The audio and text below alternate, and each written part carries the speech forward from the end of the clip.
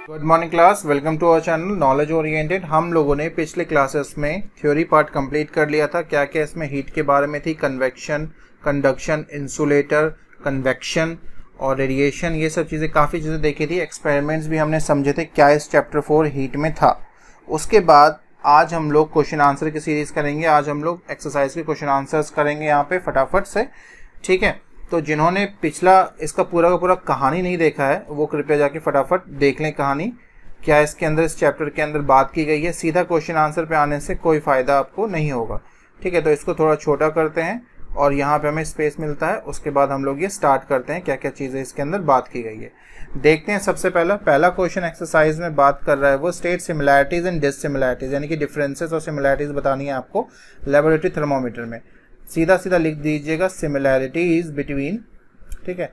सबसे पहले सिमिलैरिटीज़ का पॉइंट है तो सिमिलैरिटीज़ बिटवीन आप यहाँ पे कर सकते हैं लेबोरेटरी थर्मोमीटर देखिए, मैं सारा का सारा, पूरा का पूरा कहानी नहीं लिखने वाला हूँ, सिर्फ़ आपको मैं वो पॉइंट्स मेन बता दूँगा, जिससे कि आप लोग ये कर पाएँगे कि उससे आप पूरी के पूरे स्टेटमेंट्स को बना पाएँ। ठीक है? तो यहाँ पे हम लोगों ने क्लिनिकल थर्मोमीटर और इस जगह पे सबसे पहले हमारा पहला पॉइंट इसमें यह आ सकता है। कि दोनों में सिमिलैरिटीज़ क्या है?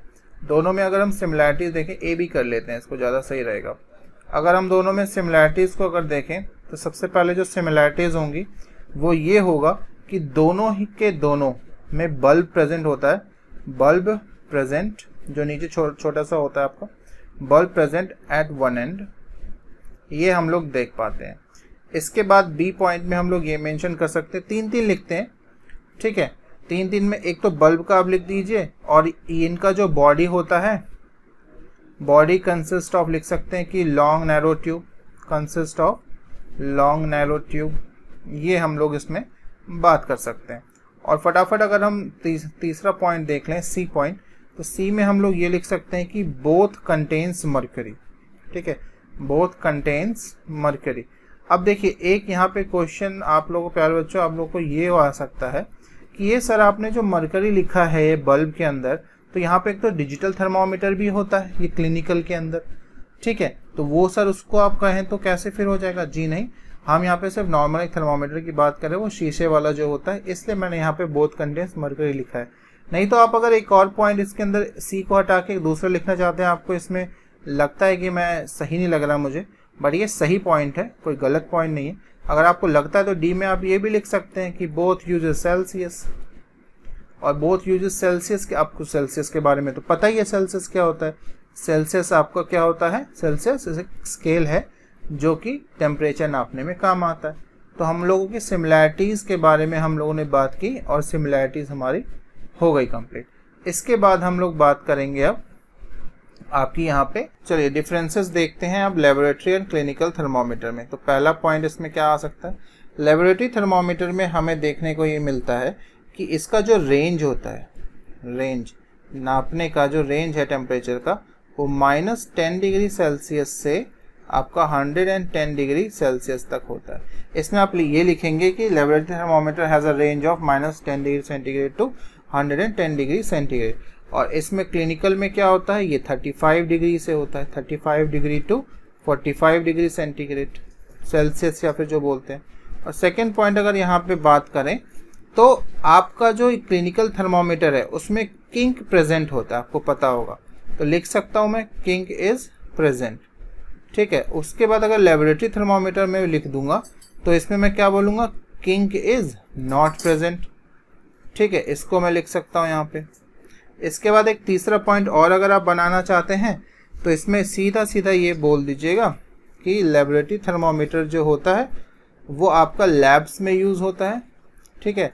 लैब्स में यूज़ होगा। और ये करते क्या है? इससे हम लोग वहाँ के जो लिक्विड हैं, उनके टेम्परेचर को हम लोग मेज़र करते हैं। लिक्विड के टेम्परेचर को लिक्विड टेम्परेचर मेज़र ये मैं शॉर्ट में खाली लिख रहा हूँ, यहाँ पे सेंटेंस खुद बना लीजिएगा। और थर्ड इसी में क्लिनिकल में क्या कर सकते हैं? इससे हम ये लिख सकते हैं कि हम लोग इससे बॉडी टेम्परेचर नापते हैं। बॉडी टेम्परेचर मेज़र ठीक है, बस ये इसके अंदर लिखना था। हो गया ये तीन तीन में डिफरेंस इसके बाद हम लोग आते हैं सेकेंड क्वेश्चन पे। तो सेकेंड क्वेश्चन हमारा यहाँ पे क्या कहना चाह रहा है? सेकेंड क्वेश्चन बोलता है दो दो एग्ज़ाम्पल दीजिए कंडक्टर और इंसुलेटर का। अब बताइए, कोई क्वेश्चन हुआ तो कंडक्टर का लिख दीजिए। तो आप लोगों ने हमेशा से ही पढ़ा हुआ है। कंडक्टर के दो एग्ज़ाम्पल क्या लिख सकते हैं हम लोग? यहाँ पे एल्यूमिनियम आ सकता है। एल्यूमिनियम के बाद आयरन आ सकता है। एक और डाल दीजिए, क्या जा रहा है? एक कॉपर लिख लीजिए। ठीक है, ये हो गए कंडक्टर के। अब कंडक्टर जब हो गया तो इसके अंदर अब आते हैं इंसुलेटर पे। तो इंसुलेटर कौन होता है? जो कि कंडक्ट नहीं करेगा हीट तो सबसे बढ़िया यहाँ पे प्लास्टिक है। और एक और लिख दीजिए वुड ठीक है, ये दोनों कर लीजिए। ठीक, अब बढ़ते हैं नेक्स्ट पे हम लोग। थर्ड फिलिप्स पे। थर्ड वाला जो फिलिप्स है इसमें ए वाला बोलता है क्या होगा? The hotness of an object is determined by its किसी की भी गर्मी या तपिश किससे हम किसी भी ऑब्जेक्ट की डिटरमाइन करते हैं हम उसके टेम्परेचर से डि, डि, आ, उसका डिटरमाइन करते हैं। तो पहले का आंसर हो जाएगा आपका टेम्परेचर इसके बाद बी में देखते हैं। Temperature of boiling water can not be measured by a dash thermometer ये तो ऑब्वियस है कि हम यहाँ पे कौन सा थर्मोमीटर अगर नापना चाहेंगे टेम्परेचर बॉइलिंग वाटर का तो वो हम लोग कौन सा यूज़ करेंगे? अभी आपको, अभी हमने पीछे डिफरेंसेस में लिखा था लेबोरेटरी थर्मोमीटर में तो लेबोरेटरी थर्मोमीटर ये करते हैं, मगर यहाँ बोलते हैं कैन नॉट वो बोल रहे हैं। तो कैन नॉट में किससे नहीं नाप सकते हम लोग? निकल थर्मोमीटर से हम लोग नहीं नाप सकते उसको। क्लिनिकल थर्मोमीटर आ जाएगा इसका आंसर नेक्स्ट सी पॉइंट देखते हैं। Temperature is measure in degree अभी बात की है हम लोगों ने कि ये डिग्री सेल्सियस में नापा जाता है। ये बहुत इंपॉर्टेंट क्वेश्चन है पूछेंगे यहाँ से, फिलिप्स में। डी आता है no medium is required for transfer of heat अब ये बोलता है, एक ऐसी प्रोसेस जहाँ पे कोई मीडियम का रिक्वायरमेंट नहीं होता है। अब ये कैसी बात हो गई? यानी कि कोई ऐसा प्रोसेस है हीट ट्रांसफ़र हो रहा है, मगर मीडियम नहीं है है ना? तो वो कौन सा है? वो है आपका रेडिएशन अभी हमने बात की थी जिन्होंने पिछला पार्ट नहीं देखा है, हर एक पार्ट पे आपका टॉपिक मेंशन है तो आप आराम से उसमें पढ़ सकते हैं जो टॉपिक आपको ज़रूरी लगता है। कि आपने पढ़ लिया है, किसी और चीज़ को समझना रिवाइज करना, हर एक का टॉपिक लिखा हुआ है। ये देखते हैं। एक ठंडा स्टील स्पून है, उसको कप ऑफ़ हॉट मिल्क में डुबा दिया हमने। Heat is transfer to it by the end ओहो, ये तो सीधा सीधा कंडक्शन ही समझ में आ रहा है। क्योंकि यहाँ पे क्या हो रहा है? यहाँ पे एक ऑब्जेक्ट आपने डुबाया हुआ है गर्म दूध में। तो गर्मी जो उस दूध की थी वो डायरेक्ट कांटेक्ट में आया ना उसका स्टील स्पून दूध के, गर्म दूध के। तो उसमें डायरेक्ट ट्रांसफ़र हो रहा है। तो यहाँ पे कंडक्शन हो गया और एक एफ़ बचा है, उसको यहीं पे लिख देते हैं। एफ़ क्या पूछता है? Cloth of dash colour absorb more heat better than cloth of light colour अब यहाँ पे उसने लाइट कलर अगर दे दिया तो कौन दूसरा बच गया जो कि सबसे ज़्यादा एब्जॉर्व करेगा? ऑब्वियस है कौन करता है? डार्क कलर वाले क्लोथ करते हैं। ठीक है? यहाँ तक क्लियर होगा। इसके बाद हम लोग जब बात करेंगे तो हम आएँगे यहाँ पे आपके मैच द फॉलोइंग पे और फिर ये डायग्राम सब है। देखते हैं मैच द फॉलोइंग क्या होगा। फोर्थ का ये जो मैच द फॉलोइंग है, इसका पहला क्या है? लैंड ब्रिज जो ज़मीनी, जो हवा चलती है, वो ब्लोज ड्यूरिंग कब? वो कब ब्लो करती है? वो करती है नाइट में। तो इसका पहले का आंसर हो जाएगा नाइट जो कि कौन सा है? डी ऑप्शन ठीक है? सेकेंड का। सी ब्रीज ब्लो इसका उल्टा होता है, आपको पता है, इसमें मुझे कन्फ्यूज़न नहीं होना चाहिए, मुझे लगता है आप लोगों को तो डे हो जाएगा सी आ जाएगा इसका ऑप्शन उसके बाद आता है तीसरे पॉइंट पे, यहाँ पे dark colour objects dark colour clothes are prefer during अब डार्क कलर कब यूज़ करोगे? डार्क कलर सबसे पहले हीट आपका सबसे ज़्यादा एब्जॉर्ब करता है तो आपको गर्म रखेगा तो गर्मी रखने के लिए कपड़े आप डार्क कलर के पहन रहे हैं, पहनेंगे तो कब पहनेंगे? विंटर में ही पहनेंगे ना? तो इसका आ जाएगा आंसर आपका विंटर। और विंटर कौन सा ऑप्शन है? बी ऑप्शन है। उसके बाद फोर्थ देखते हैं, सेम वही लाइट कलर क्लोथ। ठंडे में पहन, ठंडे में थोड़ा ना पहनोगे आप लाइट कलर को, और ठिठुर, ठिठुरने लग जाओगे ठंडे से। तो ये कब पहनते हैं? समर में पहनते हैं, गर्मियों में पहनते हैं। तो समर वाला ए ऑप्शन आपका इसमें आ जाएगा। ठीक है, इसके बाद फिफ्थ क्वेश्चन बोलता है discuss why wearing more layer of clothes during winter keeps us warm that wearing just one thick piece of cloth देखिए, मैं इसमें स्टेटमेंट आपको इसलिए भी नहीं लिख रहा हूँ क्योंकि ये टीचर्स ने आपको लिखवाएँगे ही या लिखवा दिया गया होगा। आपको और एक्स्ट्रा अलग समझना है, तभी आप यहाँ पे आते हैं, हर वीडियोस को देखते हैं। चीज़ें आप अलग अलग वेबसाइट्स पे सर्च करते हैं। ठीक है तो हमें और समझना होता है, हम इसीलिए करते हैं। तो इसीलिए मैं आपको यहाँ पे मेन पॉइंट इसका बता देता हूँ। ये ऐसा हो क्यों रहा है? इसके आंसर फिफ्थ का आंसर ऐसा क्यों कह रहा है? वो वाई कारण क्या है? ठीक है? तो मैं पूरी की पूरी कहानी नहीं लिखूँगा। मैं आपको चीज़ें समझाऊँगा। मैं यहाँ पे समझाने के लिए हूँ चलिए आगे देखते हैं। फिफ्थ है discuss why wearing more layer of cloth वो कहता है कि ज़्यादा लेयर क्लोथ्स के पहनते हैं हम विंटर के अंदर। वो हमें वार्म रखती है wearing one thick piece of cloth वो बोल रहा है कि एक मोटा सा कपड़ा हमने पहन लिया। ठंडी का मौसम था विंटर का मौसम चल रहा है, ठीक है ना? ठंडी का मौसम है यहाँ पे, और मैंने एक मोटी सी रजाई ओढ़ ली है। अब वो मुझे उतना ठंडा नहीं रख पाती, जबकि मैं पतले पतले तीन चार ब्लैंकेट्स ओढ़ लेता हूँ तो उससे मुझे ज़्यादा गर्मी लगती है। यानी कि वो मुझे ठंड से बचाती है। और ये देखिए, ये जो जिगजैग मैंने इसके बीच में किया है, ये क्या है? ये है आपका एयर आपको पता है कि हम जितने ही लेयर्स पहनेंगे, आपको ये मालूम होगा, ये काला काला उससे कर देता हूँ एयर को डिनोट ठीक है? जितने हम लेयर पहनेंगे, उससे क्या होगा? उतनी उसके बीच में एयर क्या होगी? ट्रैप होगी। और एयर ट्रैप होगी, और आपको पता है एयर क्या है? Air is a bad conductor और किसकी ये बैड कंडक्टर है? बैड कंडक्टर है आपकी हीट की। तो हीट इससे पास नहीं हो पाएगी। जो बॉडी से तपिश, जो गर्मी निकल रही थी, उसको वो पकड़ के रखेगा और हमारी बॉडी अंदर ही अंदर गर्म रहेगी। ठीक है? इसीलिए कहते हैं कि ज़्यादा लेयर की कपड़े पहनने से हम ज़्यादा गर्म रहेंगे। इसीलिए हम लोग ज़्यादा लेयर वाली चीज़ें पहनते हैं। ठीक है? इस चीज़ को आप समझिएगा। अब आते हैं नेक्स्ट हम लोग डायग्राम पे। अब इस डायग्राम में, मैं डायग्राम को डायग्राम में ही बता देता हूँ। डायग्राम में आपके यहाँ पे सिक्स में तीन चीज़ों के बारे में बोला है उसने। एक बोला है कंडक्शन कहाँ पे हो रहा है वो बता दो मुझे। उसके बाद एक बोला है कन्वेक्शन कहाँ पे हो रहा है वो बता दो मुझे।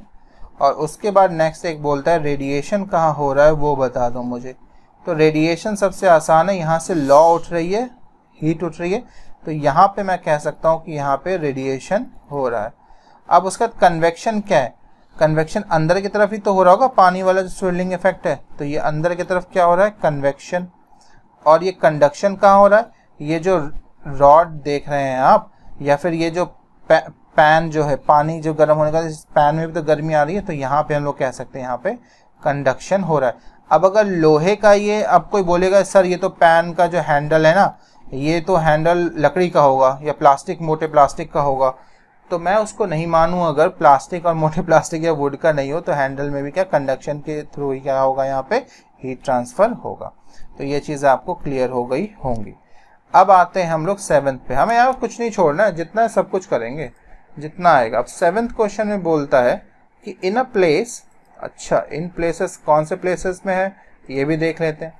In places hot climate it is advise that outer wall of layer should be painted white अब वो कह रहे हैं कि जो बाहर की जो दीवार होती है, ठीक है, वो घरों की ठंड में ठंड में या गर्मी में, जरा देखें जरा, नहीं हॉट क्लाइमेट में बोल रहा है। अच्छा हॉट क्लाइमेट चलो ये मेन पॉइंट है, इसको लिखते हैं। हॉट क्लाइमेट गर्म क्लाइमेट में, गर्म जलवायु में क्या होती है? वहाँ बाहर की जो दीवारें होती हैं, हम उसको पेंट करते हैं वाइट तो ऐसा क्यों करते हैं? आपको पता है कि वाइट एब्जॉर्ब नहीं करती है क्या? लाइट ठीक है? एब्जॉर्ब ये नहीं करती है। और अगर ये एब्जॉर्ब नहीं करेगी तो क्या करेगी? इट रिफ्लेक्ट्स बैक ठीक है? ये ज़्यादा से ज़्यादा क्या कर देती है? रिफ्लेक्ट कर देती है लाइट रेस को। तो गर्मी नहीं होगी और हमारा अंदर का जो घर का माहौल होगा, वो ठंडा ठंडा होगा कूल होगा, ठीक है? आगे देखते हैं। अब एट्थ के बारे में बात करते हैं। अब एट्थ ये जितने हैं आपके, यहाँ पे हैं टिक मार्क वाले। तो इसको थोड़ा सा बड़ा कर लेते हैं और यहीं पे हम लोग इसको देख लेते हैं कि क्या क्या चीज़ें ये कहना चाह रहा है हमसे। ठीक है? देखते हैं यहाँ पे। एट क्वेश्चन बोलता है कि हम, हमने एक लीटर पानी लिया जो कि थर्टी डिग्री टेम्परेचर का था। ठीक है? एक हमने लीटर पानी लिया जो थर्टी डिग्री टेम्परेचर उसको मिक्स कर दिया एक लीटर पानी पचास डिग्री से। तो बताइए उसके मिक्सचर में कितना मतलब क्या टेम्परेचर होगा? मान के, मान, ये देखिए, आपने क्या किया ना, एक लीटर पानी 30 डिग्री पे गर्म किया था 30 डिग्री सेल्सियस पे, और एक आपने किया था 50 डिग्री सेल्सियस पे। तो दोनों को आपने मिक्स कर दिया। तो ये तो ऑब्वियस है ना कि ये बिटवीन 30 डिग्री एंड 50 डिग्री होगा। सीधा सीधा आंसर है। ठीक है, कोई सोचेगा, नहीं, ये प्लस हो जाएगा। अरे भाई, कैसे प्लस होगा? आप सोचो, यहाँ पे जो एक है, जिसके अंदर 50 डिग्री टेम्परेचर पहले से मौजूद है, उसमें आपने 30 डिग्री टेम्परेचर फिर से डाला। तो 30 का तो 50 से तो 30 कम ही है ना? तो उसमें तो 30 मिल ही गया ना?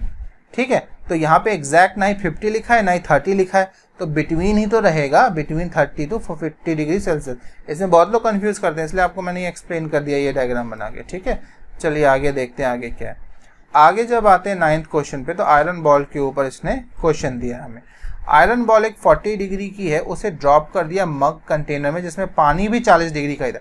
अब देखिए आयरन बॉल भी 40 डिग्री है मग में भी 40 डिग्री है तो दोनों इक्वल नहीं हो गए 40 डिग्री इक्वल टू 40 डिग्री तो यहाँ पे क्या होगा? आप ही सोच के बताइए थोड़ा सा क्या होगा? यहाँ पे not flow from iron ball to water और from water to iron ball यानी कि जो हीट होगी, वो नहीं ट्रांसफ़र होगी नहीं पानी से आयरन बॉल में नहीं आयरन बॉल से पानी में। समझ गए? नेक्स्ट आते हैं टेंथ पर। अब wooden spoon is dipped in a cup of ice cream its other end other end क्या होगा? देखते हैं। एक वुडन स्पून है, लकड़ी वाला स्पून है, ठीक है? और उसको आपने डिप कर दिया एक कप ऑफ़ आइसक्रीम में। आइसक्रीम कैसी होती है? ठंडी होती है कोल्ड होती है? तो उसकी जो दूसरी एंड है वुडन है वुडन लकड़ी है, ध्यान से देखना।